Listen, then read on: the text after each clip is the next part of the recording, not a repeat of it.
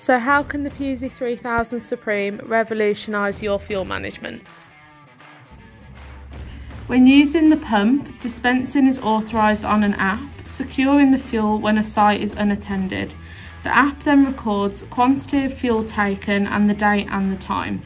It can be used with the B-Smart for remote online monitoring of bowsers across the sites.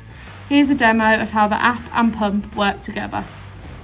So you can sort of see on the portal um, all the options, like the details, the vehicle identification.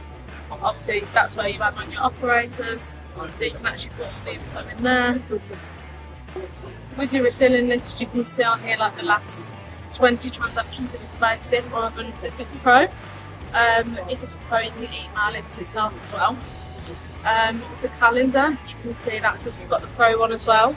So you can actually see who's dispensed what, what day, you can go to different months and you can actually see it all. Um, yeah, new refilling, obviously pre-set will start. It's got the low flow mode as well, so if you can fill in like jerry cans or like long plugins, things like that. Yeah, so yeah, low flow mode if you want it on that, and you can literally just go start. So it'll prime the pump to begin with, it'll go louder, and then you'll hear the noise and drop. So the flow rate goes from being 50 litres when it's 25 the low flow mode. Just stops like the splashback and stuff like that. Um, so once you've done it, obviously you put stuff on there, auto nozzle when you let go, yeah. turn it off. Um, you can do a preset as well. Um, refilling. If you go on preset, you can actually just put in, I don't know, like five litres, and then that'll literally do the preset as well. So obviously it'll do it that's the normal.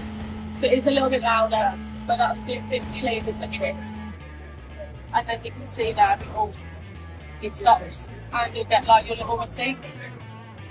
Supreme manages its own operation. This prevents damage if left running without fuel in the tank. The motor slows itself down to prevent overheating. This allows continuous running from 12 volt through to 24 volt.